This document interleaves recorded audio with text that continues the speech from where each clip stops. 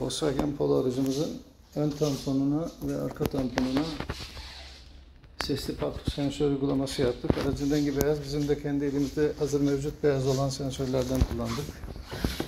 Arkayı bu şekilde. İkisi bağımsız çalışır. Arkadan sesi arkadan, önün sesi önden polifonik gelir. Ön sensör için buraya bir açma kapama düğmesi koyduk. Sıkışık trafikte ve aşırı yağışlı havalarda rahatsız olduğunuz zaman kapatırsınız. Ön sensör 1 metreden algılama yapar. 2 kademedir. Yanaşıyorum. Polifonik ses algıladı. 40 santimde durdurdu. Arka 2 metreden algılama yapar. Arka köşelerden algılıyor şu anda. Aracın arkası boşa çıktı ve ses durdu. Arka sensör arkada bir şey yokken geriye taktığınızda kısa bir bık yapar. Kendini test eder yani. Evet gayet güzel bir uygulama oldu.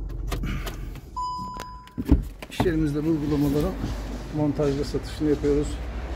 Video altındaki iletişim bilgilerinden bizimle bağlantı kurabilirsiniz.